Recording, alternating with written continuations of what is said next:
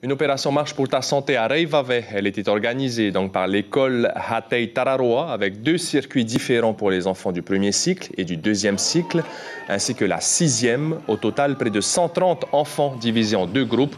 Tout cela a été bien encadré par les enseignants, les accompagnateurs, les policiers municipaux et les pompiers de la commune. Écoutez cette réaction recueillie par notre correspondant Arthur Tiari. Il est très important pour les enfants et je suis heureux étant euh, parent des enfants, euh, à participer. Et j'ai bien aimé parce qu'il y a beaucoup de parents qui ont participé et c'est bien pour la santé aussi. Et j'aimerais bien demander euh, si on ne peut pas faire tous les mois que les parents assistent aussi à Marche pour la santé pour les enfants et pour les parents. Parce que là, le ventre, il est devant le ventre. Hein. Il n'est pas... L'information en continue sur Polynésie la première, Internet et réseaux sociaux.